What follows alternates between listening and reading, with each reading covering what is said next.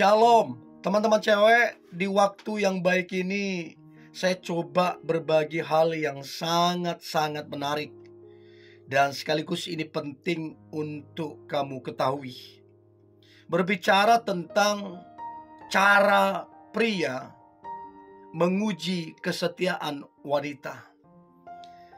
Jangan-jangan, teman-teman cewek, pria yang kamu lagi membangun hubungan yang sedang berpacaran, jangan-jangan dia lagi menguji kesetiaanmu.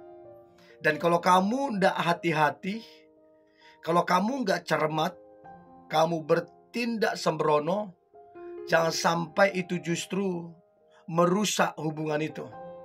Jangan sampai dia menilai engkau salah dan berujung akhirnya berakhir itu hubungan. Untuk itu perhatikanlah amatilah apakah pria yang engkau sedang menjalani hubungan sedang menguji kesetiaanmu atau tidak. Oke, jadi lima cara pria menguji kesetiaan wanita.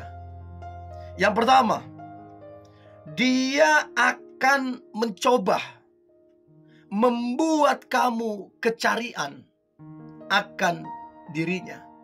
Artinya apa? Dia akan mencoba hilang tanpa memberi kabar sama kamu. Jadi tiba-tiba saja si pria itu menghilang. Gak ada kabar. Kamu gak tahu dia di mana, lagi ngapain, dan sama siapa. Dan kamu bingung.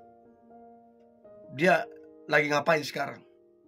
Nah, pria akan mencari tahu Apakah kamu kecarian? Apakah kamu berusaha untuk menghubungi dia? Apakah kamu kepikiran?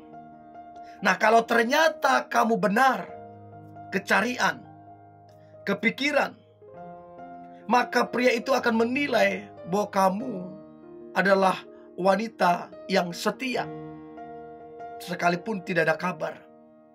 Sebaliknya, kalau kamu nggak peduli, nggak mau cari tahu, maka si pria tersebut akan menilai engkau bahwa engkau adalah wanita yang tidak setia.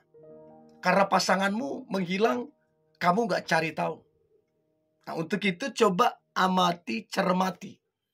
Apakah kamu sedang diuji oleh pasanganmu atau tidak? Itu yang pertama. Yang kedua, cara pria menguji kesetiaan wanita. Yang kedua adalah dia akan mencoba membuatmu cemburu. Dia bukan selingkuh, bukan. Dia bukan punya gebetan yang baru, bukan. Tapi dia coba dekat, bukan berarti dia sedang membangun kedekatan. Entahkah itu teman dia, entahkah itu sahabat dia. Dia coba uh, membuatmu cemburu. Jadi waktu dia dekat dengan wanita lain yang adalah mungkin temannya, sahabatnya. Nah, dia akan coba melihat apakah kamu cemburu ketika dia dekat dengan wanita lain. Nah, dia akan menilai kesetiaanmu. Kalau kemudian kamu cemburu, cemburu kan tanda cinta, tanda sayang gak mau kehilangan. Nah kalau kemudian dia cemburu, maka si cowok itu kalau kamu cemburu, maka si cowok itu akan menilai bahwa kamu adalah wanita yang setia. Karena memang kamu gak mau kehilangan dia. Tapi kalau kemudian teman-teman cewek, kamu gak cemburu, dia dekat dengan wanita lain. Kamu gak peduli sama sekali. Maka si pria tersebut akan menilai bahwa kamu tidaklah setia terhadap dia. Itu fakta yang perlu teman-teman cewek ketahui. Cara-cara pria menguji kesetiaan wanita. Jadi coba perhatikan perasaanmu, sikapmu, cemburu apa tidak ketika dia dekat dengan wanita lain. Itu salah satu cara pria menguji kesetiaan wanita. Itu yang kedua. Yang ketiga, cara pria menguji kesetiaan wanita. Tiba-tiba saja dia marah-marah nggak jelas. Nggak ada angin, nggak ada hujan, nggak ada masalah. Tiba-tiba marah nggak jelas. Tiba-tiba ngambek. Tiba-tiba diam seribu bahasa. Susah dihubungin. Dia marah nggak jelas.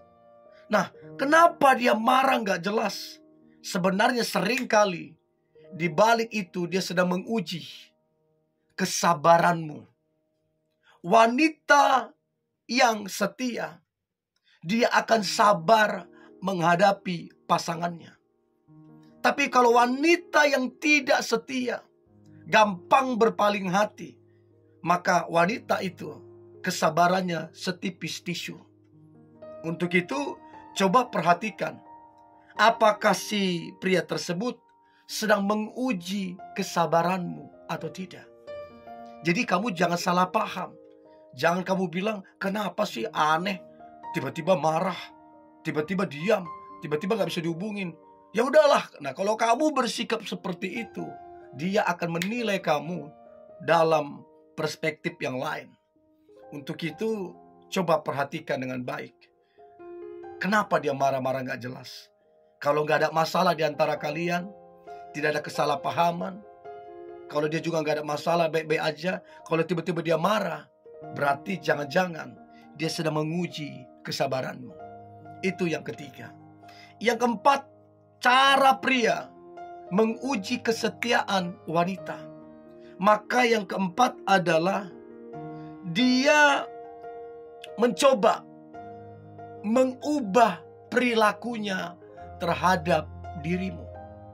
Kalau yang tadinya dia rajin memperhatikanmu, dia rajin memberikan pujian, dia rajin untuk memberikan dukungan. Hari ini sikapnya, perilakunya berubah total. Dia nggak peduli samamu, dia cuek samamu, dia malas-malasan samamu. Nah, jangan salah paham kalau kamu tahu karakter dia, kamu kan bisa menilai, oh kalau karakter dia ini orangnya memang baik. Kalau tiba-tiba dia cuek, nggak peduli, malas, padahal kamu tahu karakternya baik, jangan-jangan dia sedang menguji kesetiaanmu. Apakah ketika dia berubah perilaku, berubah kebiasaannya, nah dia akan menilai kamu, apakah responmu sama perasaanmu berubah, perilakumu juga berubah. Karena dia cuek, kamu cuek. Karena dia nggak peduli, kamu juga nggak peduli.